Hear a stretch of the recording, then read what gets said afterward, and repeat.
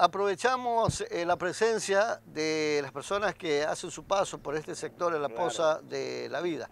Me encontré con don Santo Mero, más conocido como Huicho, para conversar un tanto sobre lo que le parece a usted, ¿no? Eh, un trabajo que se está efectuando con mucho amor, con mucho civismo, eh, al mantener esto limpio. Primero limpio, hacer la poda de las plantas para que no crezcan mucho, y tercero, pues darle eh, esa manito de ayuda a la estructura, por ejemplo, las barandas, aquí las tablas del puente que ya estaban podridos. Entonces, todas estas acciones hay que reconocerlas, sin lugar a dudas, mi estimado amigo. A ver, cuénteme, cuénteme usted anteriormente cómo usted veía esto este y actual cómo, cómo lo encuentra. No, yo la plena, yo lo encuentro muy bien esto de aquí, por lo que desde que nosotros más claro que desde que hicieron esto, nadie le da mantenimiento a esto la plena, este, ahorita por ejemplo yo, ahora poco que me di cuenta nomás, y ese con el concejal que lo vi que estaba trabajando aquí,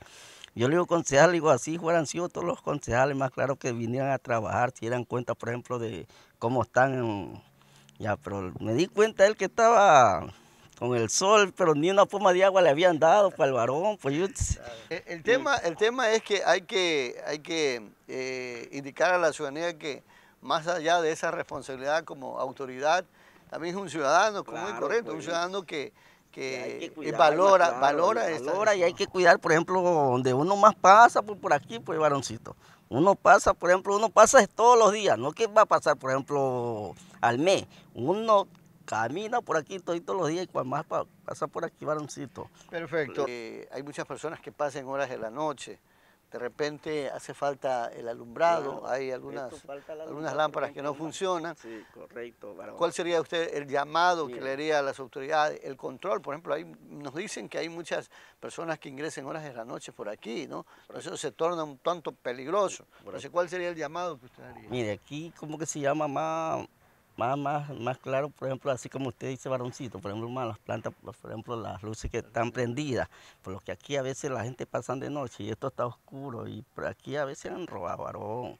A veces ha habido robo aquí en esto, más gente, por ejemplo, de otros lados, que por ejemplo que vienen, por ejemplo, distinto que vinieran la gente de otro lado a trabajar, pero vienen a hacer su, su fechuría, varoncito, la plena, y a veces hasta de madrugada también andan por ahí. En cambio con las luces que ya están prendidas, no, pues Realmente noche oscura, varón. Noche oscura, que fuera, por ejemplo, noche clara, correcto, se, ve más claro, pero noche oscura que también todo se pone oscuritito. Bueno, sería el caso del llamado a las autoridades que se den una ronda, por ejemplo, la policía. Correcto, varón, por ejemplo, los polis que vienen a dar un vueltazo en la hora de la noche, por aquí. Y también arreglar las plantas, varón, por ejemplo, las luces, por ejemplo, lo que se necesita también aquí en el, en el pueblo, varón. Bueno, la parte última, ¿qué dice mi estimado amigo? Yo, varoncito, la plena, yo, disculpándome la mala palabra, yo le doy gracias al concejal, por ejemplo, al concejal Valencia, que él que me lo topó, por ejemplo, dándole mantenimiento aquí a este, dijo mi tío, sí, a este callejón. Yo le doy las gracias a él porque nunca en mi vida había visto un concejal, por ejemplo, que se preocupe por el pueblo, varoncito, ¿sí o no? Y yo le he visto aquí al varón, que el varón el que ha arreglado esto de aquí, pues sé que va a falta aquí con este varonazo que le pasen el barniz para que quede más elegante. Ok.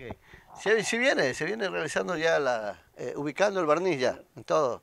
La idea es ubicarle todo, ¿no? Esa es la idea. Bueno, con esto regresamos a estudio la acción importante que están brindando las autoridades, el respaldo de la ciudadanía, que eso es importante, que la ciudadanía respalde ese accionar de las autoridades. Con esto realizamos el estudio.